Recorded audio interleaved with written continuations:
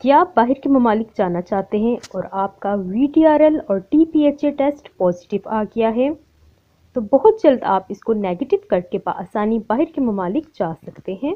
अस्सलाम वालेकुम नासरीन। बहुत से लोग जब पाकिस्तान से बाहर जाने के लिए ट्राई करते हैं दुबई, सऊदी अरब या किसी भी बैरूनी ममालिक में तो उनका मेडिकल करवाया जाता है। इस मेडिकल में आपको कुछ टेस्ट लिख कर दिए जाते हैं। उन चंद टेस्टों में एक टेस्ट का नाम वीडीआरएल टेस्ट है, जिसे venereal disease research laboratory test कहा जाता है। और ये टेस्ट आपका पॉजिटिव आ जाता है तो आपको बोला जाता है कि अब आप बाहर के ममालिक सफ़र नहीं कर सकते। नाजरीन वी टेस्ट एक खून का टेस्ट है, जिसे आछी की जाँच के लिए करवाया जाता है।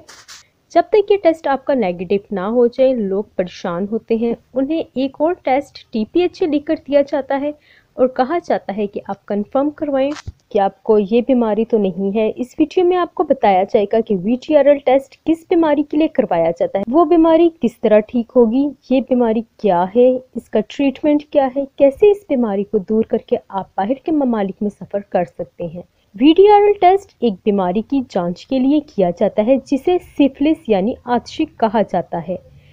ये सेक्शुअल ट्रांसमिटेड डिज़ीज़ है। ये बीमारी एक बैक्टीरिया जिसे ट्रैपोनीमा पैलिटम कहते हैं, इस वजह से होती है। ये बीमारी दो किस्म की होती है। एक कंजेनिटल सिफिलिस होती है, जब आपका बच्चा पैदा होता है तो पैदाइश के वक्त इसमें चली जाती है। जैसे माँ को है तो उससे बच्चे में ट्रांसफ़र हो जाती है। अगर आप तीन महीने के अंदर इसका ट्रीटमेंट करवा लें तो आप ठीक हो जाते हैं। और अगर आप लेट इसका ट्रीटमेंट लेते हैं तो आपके बच्चे में बहुत से मिसाइल पैदा हो सकते हैं। मिसाल के तौर पर बच्चे के दांत और हड्डियाँ टेढ़ी हो सकती हैं। और दूसरी किस्म इसकी एक्वाइड सिफिलिस है। नाजरीन, आज हम एक्वाइड सिफिलिस के बारे में बात करेंगे। ये एक सेक्टर डिज़ीज़ है, यानी आपके जिनसी अमल की वजह से फैलती है।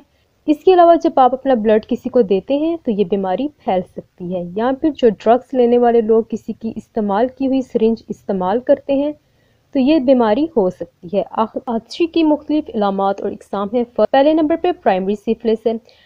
अगर आपने कोई ऐसा जिनसी अमल किया तो आपका जो नाजुक हिस्सा होता है, उस पर आपको एक छाला बना हुआ महसूस होता है, जो कि ज़ख्म बना हुआ नज़र आता है। जो लोग स्ट्रिंज का इस्तेमाल करते हैं, उनके जिसम पर किसी भी हिस्से पर यह निकल सकता है।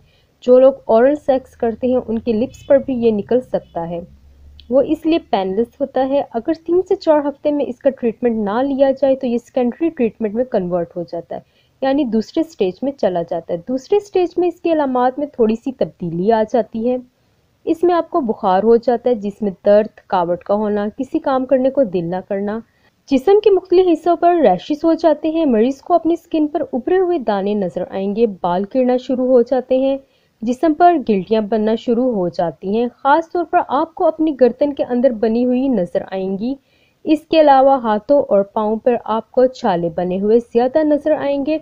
अगर दो से तीन महीने में इसका ट्रीटमेंट नहीं करते तो ये तीसरे स्टेज लेटेंट सिफिलिस में तब्दील हो जाता है, जहाँ आपको इलामत तो कोई नहीं नज़र आती, लेकिन जब आप टेस्ट करवाते हैं तो वो पॉजिटिव आ जाता है। अगर आप फिर भी ट्रीटमेंट नहीं लेते तो ये बहुत लंबे अरसे तक 10 से 15 साल तक आपके अंदर खामोश बैठा रहता है और फिर ये चौथे स्टेज ट्रिजर सिफिलिस में तब्दील हो जाता है। ये स्टेज बहुत ख़तरनाक होता है। इसमें जिसम के किसी भी हिस्से में गिल्टियाँ बन जाती हैं।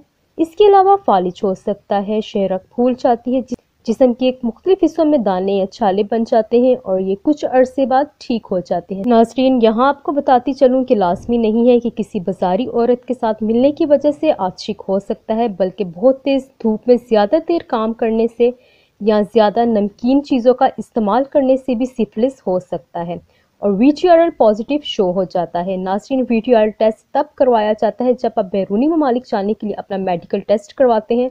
तो आपको पता चलता है कि आपका वी टेस्ट पॉजिटिव है और आपको आशिक है। इसके अलावा प्रेग्नेंट व्यूमेन जब शुरू में अपने टेस्ट करवाती हैं तो उनको पता चलता है कि उन्हें सिफिलिस है। ऐसी कंडीशन में मरीज़ हमारे से रबता करते हैं और बताते हैं कि हमारे नाजुक हिस्से में कोई बड़े दाने या छाले बने हुए हैं। तो हम आपको वीटीआरएल टेस्ट करवाने को कहते हैं, ताकि हमें यह पता लग सके कि पेशेंट को कहीं सिफिलिस तो नहीं है। जब मरीज़ वीटीआरएल टेस्ट करवाता है और वो पॉजिटिव आ जाता है तो इसका मतलब है जिसम में आशिक के जरासीम मौजूद हैं। फिर हम मरीज़ को एक से दो महीने का ट्रीटमेंट देते हैं, जिसके इस्तेमाल से मरीज़ का वीटीआरएल टेस्ट नेगेटिव हो जाता है और वह बासानी बैरूनी ममालिक सफ़र कर सकता है। अपने पॉजिटिव वीटीआरएल को नेगेटिव करने के लिए आज ही हादी दवाखाना तशरीफ़ लाएँ और हकीम नासिर अली मिनहाज से अपना मुकम्मल कामयाब इलाज करवाएँ। खुदाफिज़